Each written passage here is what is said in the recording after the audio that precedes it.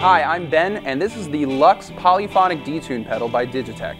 I'm playing a Fender American Deluxe Hum Single Single in standard tuning through the Luxe pedal into a Fender Deluxe.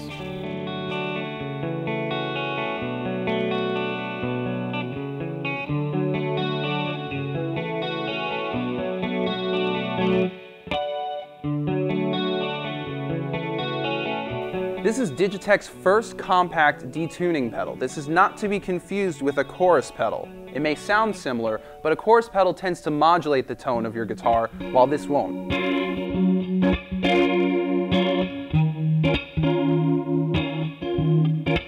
The Luxe is a true bypass pedal, and it has a level knob which changes how much of the level you want in your pedal, and the detune knob which changes how much of the detune you want either negative or positive by 50 cents.